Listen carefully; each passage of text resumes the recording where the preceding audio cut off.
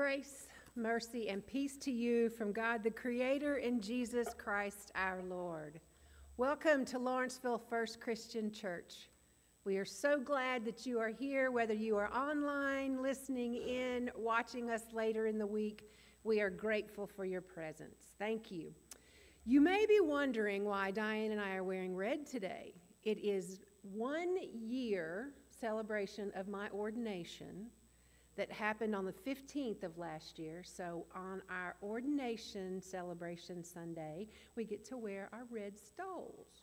So, that is why you see us in red this morning. Um, just glory to you that we um, are here today. So thankful to see you. Um, missed you last week, but we had a fabulous vacation, so I appreciate all the warm wishes. Please stand and join us for the responsive call to worship.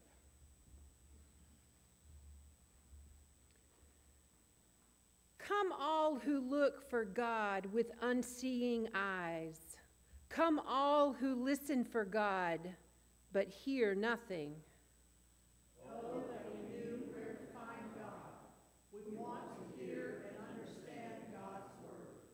The Word of God is living and active.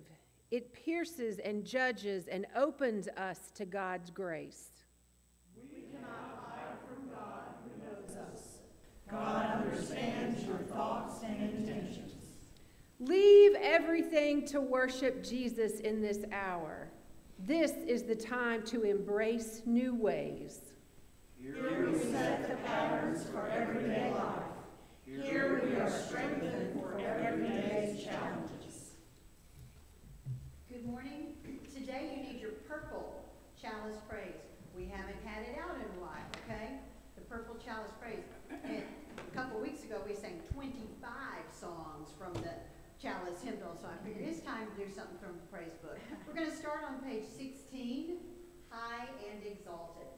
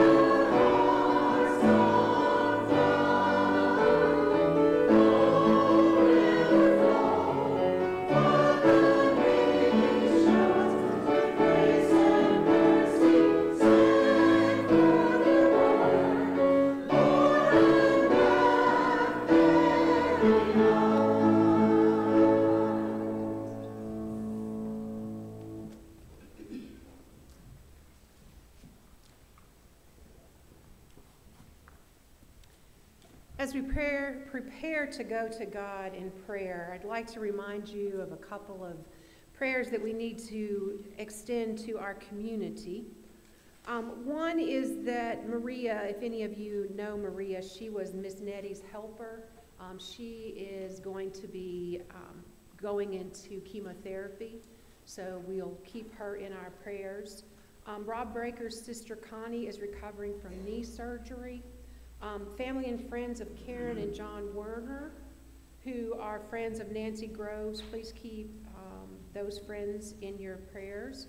Um, also, Miss Eva and Miss Neva um, have been having health issues and have not been with us, so please keep them in your prayers. Let us go to God. God of infinite patience and wisdom, we come to you with many things that claim our time, energy, resources, and lives. We are quickly drawn away from serving you by the world's enticements of wealth, ease, and comfort. Just like the young man in the scriptures, we are owned by our possessions, held captive by our treasures. You continue to offer us healing and hope. You seek to transform our lives from captivity to freedom in witness and service. We look at the world in which there is so much warfare and strife, anger and hatred, and we quickly become overwhelmed by the needs and the stress. Lord, prepare us to be able to deal with these stressors in our lives. Lord, we also pray for those affected by the recent hurricanes and those who help and support them. Help us place our lives and our trust in you, knowing that with your help, many wonderful things can be accomplished to provide hope and peace for others and ourselves. Please give us the strength, the courage to be your disciples. Bless us this day with lives filled with love, caring, generosity, and deep abiding hope. We pray that your kingdom will dwell among all people and that we may be instruments of your love and grace. Holy Spirit, Open our hearts with joy of healing a world filled with brokenness and pain. Be in our lives in the name of the one who taught us the way, the light, and the love, saying, as you taught us to pray, Our Father, who art in heaven, hallowed be thy name. Thy kingdom come, thy will be done, on earth as it is in heaven. Give us this day our daily bread, and forgive us our trespasses, as we forgive those who trespass against us. And lead us not into temptation, but deliver us from evil. For thine is the kingdom, and the power, and the glory forever.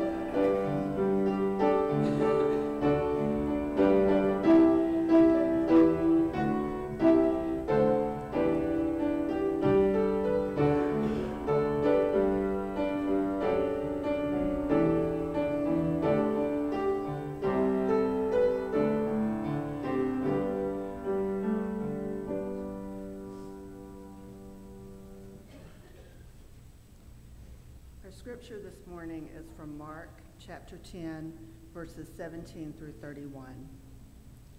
As he was setting out on a journey, a man ran up and knelt before him and asked him, Good teacher, what must I do to inherit eternal life?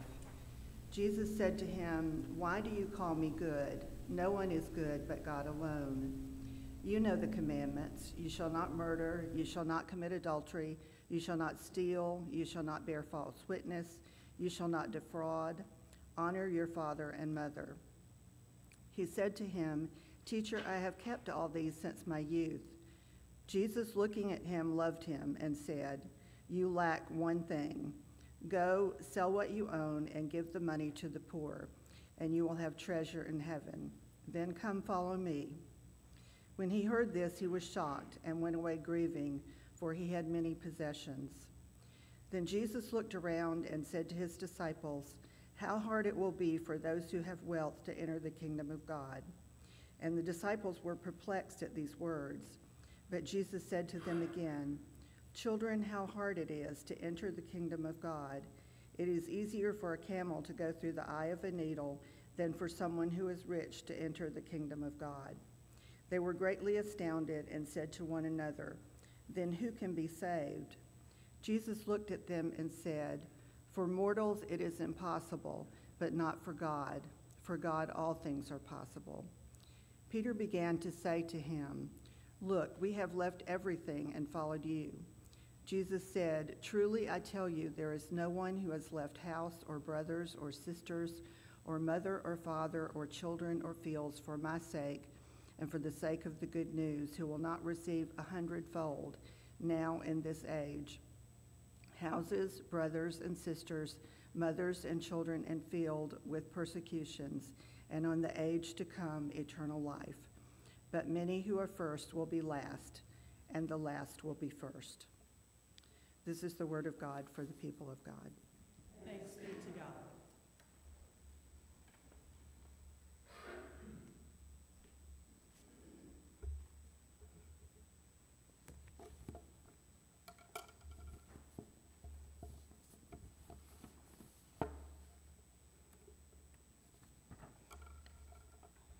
Good morning.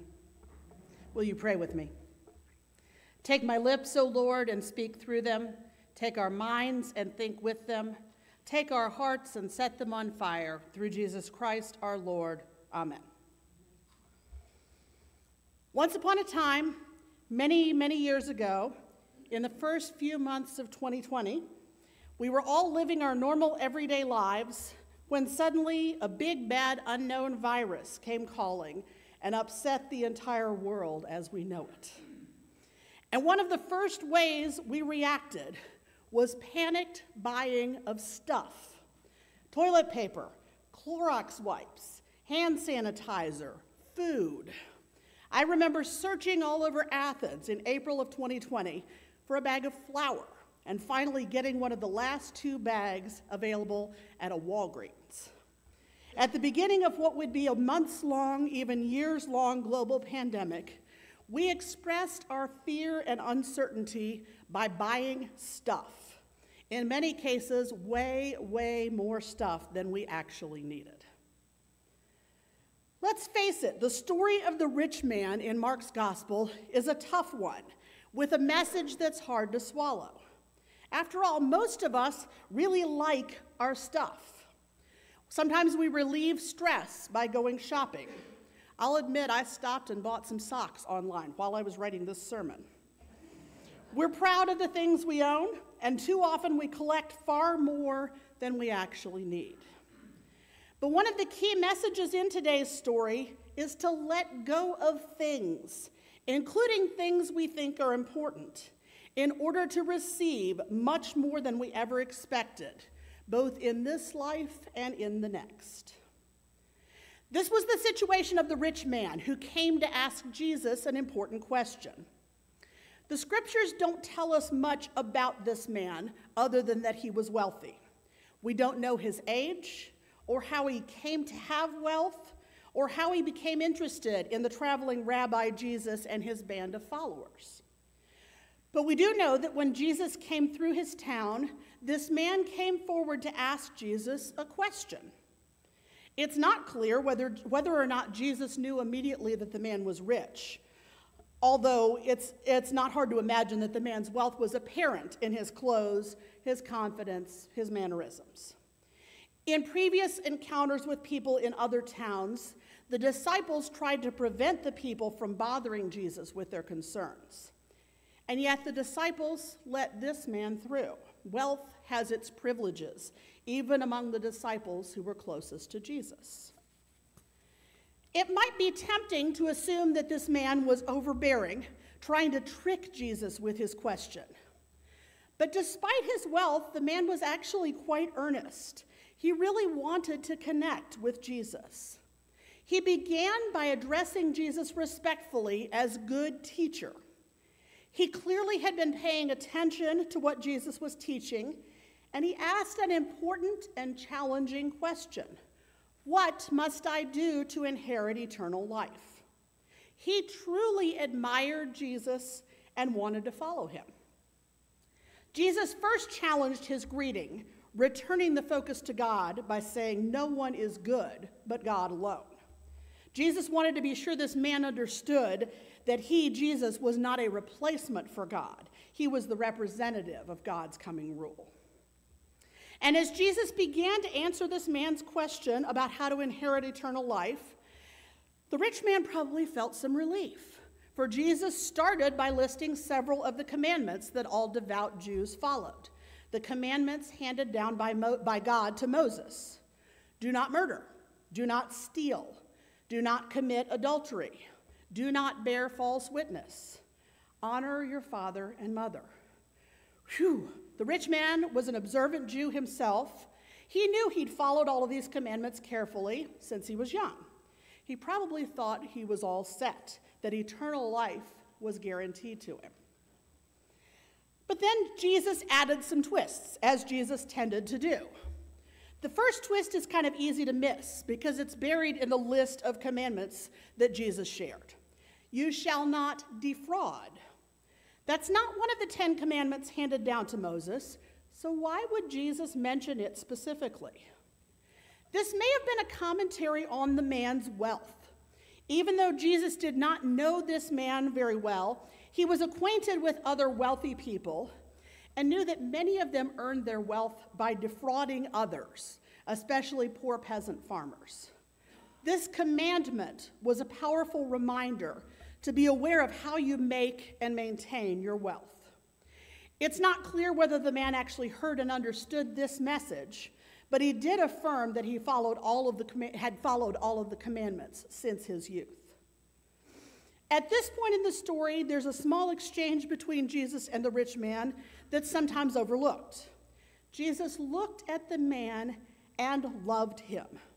So much so that Jesus invited him to join the disciples and follow him. But then Jesus added another twist, one that ultimately was too much for this man. Sell all your possessions and give the money to the poor. I wonder if the rich man stood there for a few minutes, thinking about everything he owned and everything he'd have to give up to follow Jesus. In any case, he just couldn't do it. And he went away filled with shock and grief. He just could not let go of the comfort and status that his wealth afforded.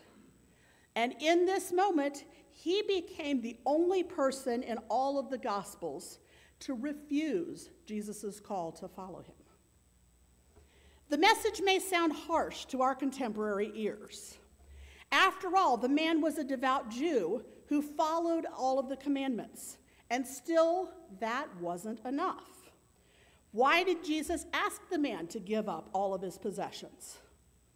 Jesus may not have known that the man was rich. He may simply have been asking the same thing he had requested of each of the disciples he called Leave your family, leave your home, leave your fishing nets, leave it all behind and follow me.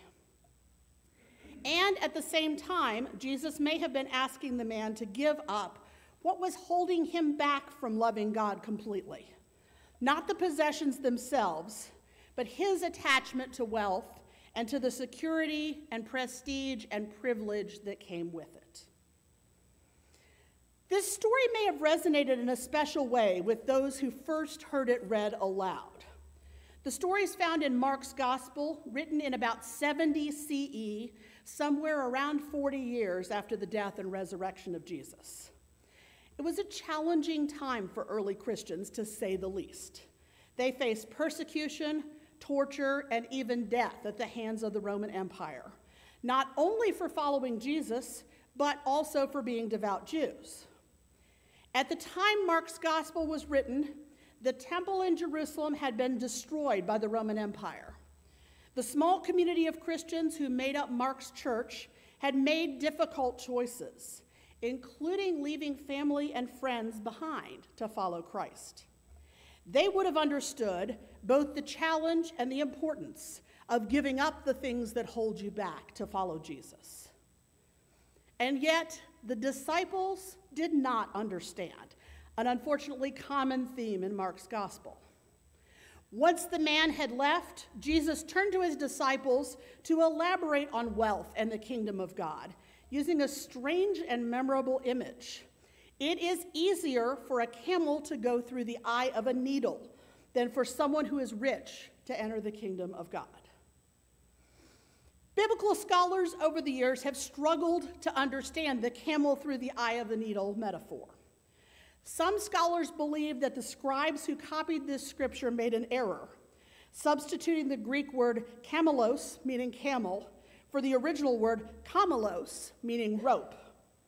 But even reading the word as rope doesn't really help, for a rope can't go through the eye of a needle either. Other scholars point to an ancient myth of the needle's eye gate. It was said to be a small, narrow gate in, in the wall into Jerusalem, too narrow and too low for a fully loaded camel to go through. The camel would have to have its burdens removed and squat down low to pass through this gate. Of course, the Needle's Eye Gate is not mentioned anywhere in the Bible, and there's no historical evidence that it actually existed. It is a myth. And trying to explain the camel through the eye of the needle misses the point that Jesus was making. It's impossible, not just hard, for a rich person to get into God's kingdom on their own. It was an extreme illustration of impossibility, impossibility, one the disciples would have understood. And it's clear that they did understand the implication of Jesus' message, for they looked at each other in astonishment, perhaps threw up their hands in frustration and said, Well, then who can be saved? Peter, always the one to speak out, added that each of them had left everything to follow Jesus.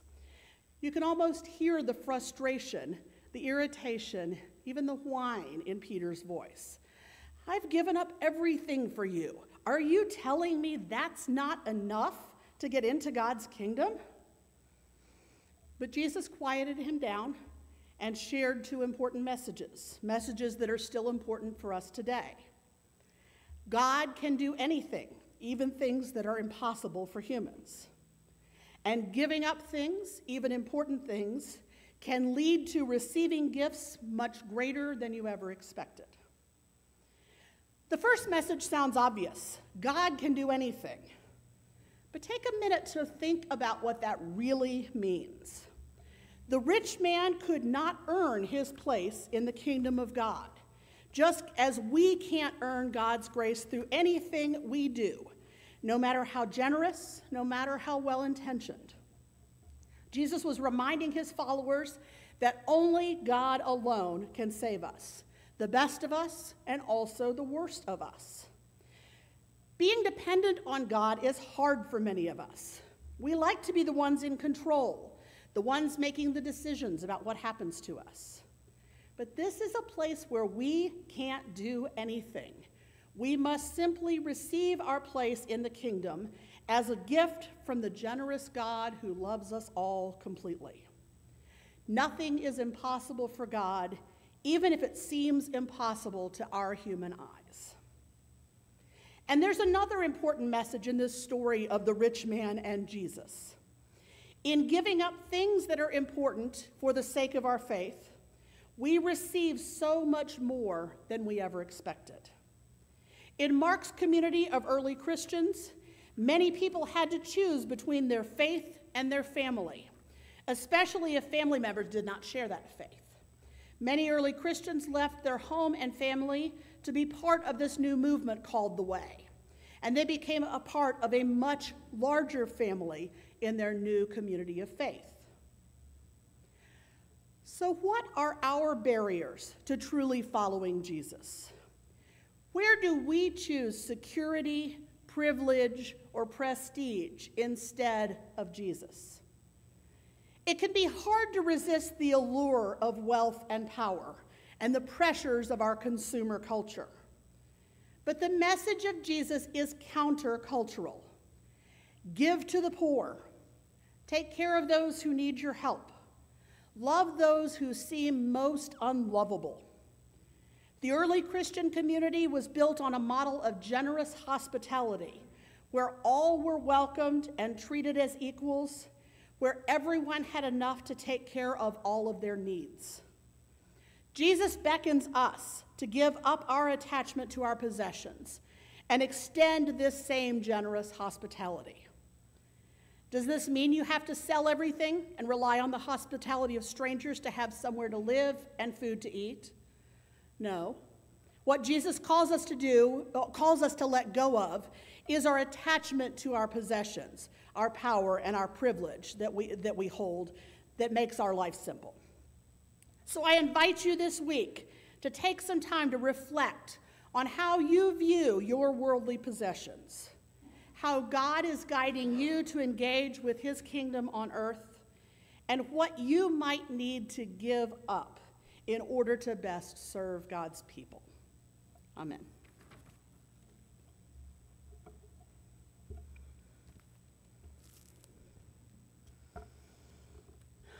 Having now read ancient scripture together and heard the word and sung songs of faith, you have an opportunity to respond. If this is the sort of faith community you've been looking for, where we wrestle with big questions and care for one another, you're invited to talk to Teresa or me or any of our leaders about membership. Let us stand and sing together verses 1 and 2 of As the Deer, number 108 in the Purple Chalice Praise Book.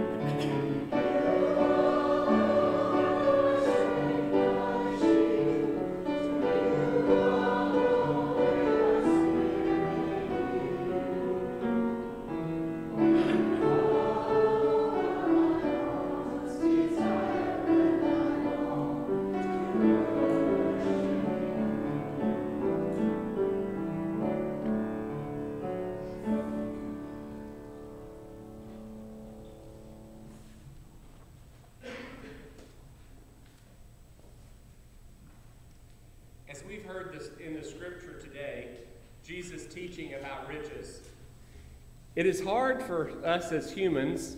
In today's world, most of the time, it seems that who, who, who dies with the most toys wins. Um, my dad always said we needed to give to charity and help others. He said he had never seen a Brinks truck in a funeral procession. So many of us get sucked into the commercialism and pressure of our world to have the most worldly and monetary possessions to be happy. As I've been working on the church budget during our cruise this past week, I realized that it would be irresponsible to give up all of our possessions as disciples did to follow Jesus. Let's face it, there are bills that have to be paid. There are expenses that are non negotiable, such as we found out our church insurance was vital, that we needed it in the build, to be stewards of the building that we've been blessed with. I like to think we are stewards of our possessions, since all we have is given to us by God and truly belongs to God. At the end of life, we have to leave someone to be in charge of distributing our wealth and possessions as per our wishes. As I've been doing this with my mom's estate, it became very aware to Kim and I that we have too much stuff and possessions. Oh, if we could live more simply and trust in God's promises from our scripture today. One thing we can always count on and trust is God's love for us and his gift of his son Jesus Christ, who gave his life so we could live eternally with all of God's riches. We celebrate this today as we come to this table spread at us by Jesus himself so that we can be fed and strengthened to serve him here on earth. Come to the table, all are welcome.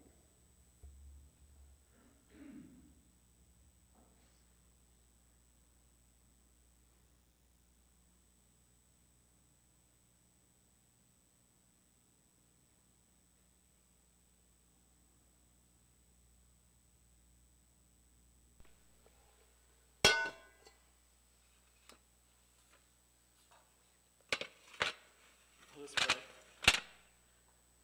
Merciful God, it is that time of year that we start to feel change in the weather and in nature. It is that time of the year we seek to be comforted and nourished. Here around this table we find just that. Nourishment of the Spirit through the bread and cup. Comfort in remembering the promises of Jesus at the table. Now as we take the bread and cup, let us give thanks for all that it symbolizes. In Jesus' name,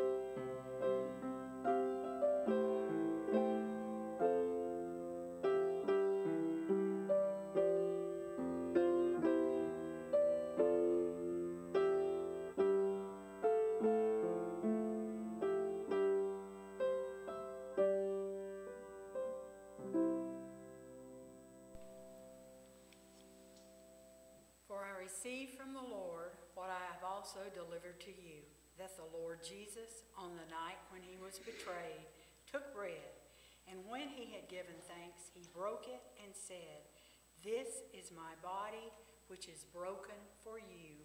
Do this in remembrance of me.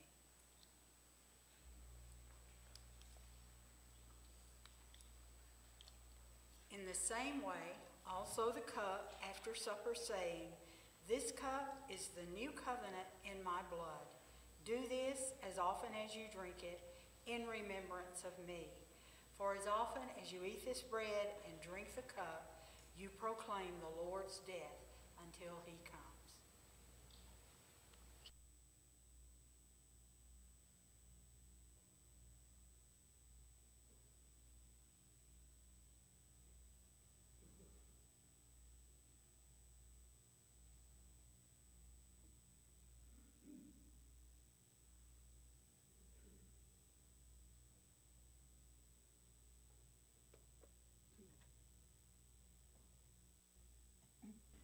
Jesus told the young questioner information and insight into eternal life. You lack one thing, Christ said. Go sell what you own and give the money to the poor, and you will have treasures in heaven. Then come and follow me. Our Christian discipleship is threatened as long as we rely on all that we have accumulated.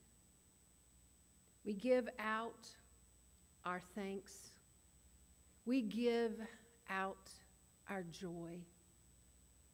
But let us remember that it is these possessions that tend to hold us back. And when Christ and the love of our God come first, we are more concerned about our neighbors than ourselves. You may give to Lawrenceville First Christian Church by placing your offering in the plates in the back of the sanctuary, by clicking donate on the website, or mailing your checks to the church.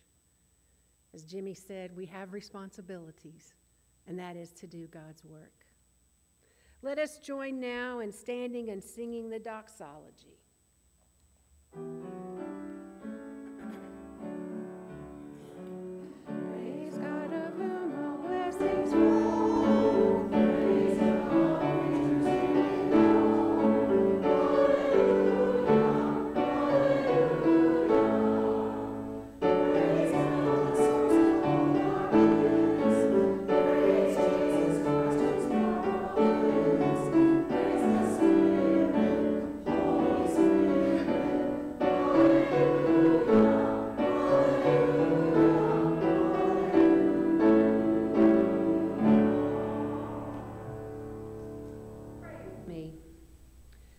God, for the wealth you have entrusted to us.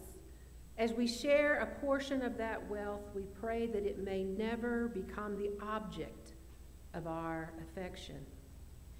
Keep focusing on people, relationship, and lasting values rather than on the possessions we have accumulated. We dedicate our time, our money, and ourselves to the reign of God among us praying that all our gifts may receive mercy and find grace to help in times of need. Amen. A couple announcements for this Sunday. Uh, Sunday school is back in gear. We start next Sunday with the major prophets. So if you are thinking about joining us, we start a new topic next week. So please come and join us at 10 a.m. Trunk or treat is October 27th. We need volunteer trunks the treater to hand out the treat, not just the trunk. We need candy, we need prayers. There are sign up sheets on the table.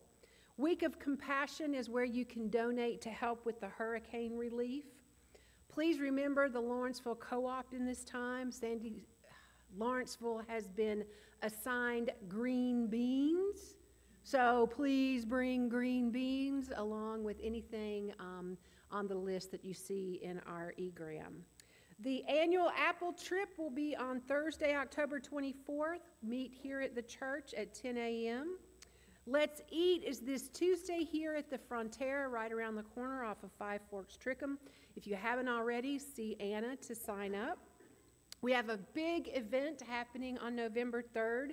Um, it will be Diane and I and our installation. It's All Saints Sunday, and it's the CWF Harvest Meal, so we need the place packed. Disciples Women Retreat has been postponed. More information about that. The prayer garden continues. Um, see Jeannie if you'd like to volunteer. That's on Saturday mornings. Finance and Facilities will meet the 17th, which is Thursday night at 6:30. Happy belated birthday to Reverend Diane, who had a birthday last week on the 8th. And happy anniversary to Dennis and Betty on their anniversary, which will be Wednesday, the 16th. Congratulations. Teresa, outreach too, tomorrow. Oh, yes.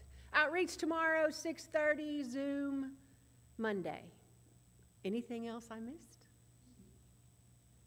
Okay.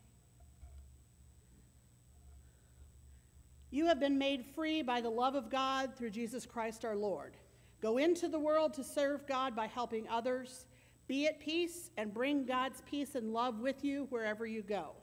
And go in the grace of the God who created you and loves you, the God who has saved you and redeemed you, and the God who sustains you and is with you always. Amen.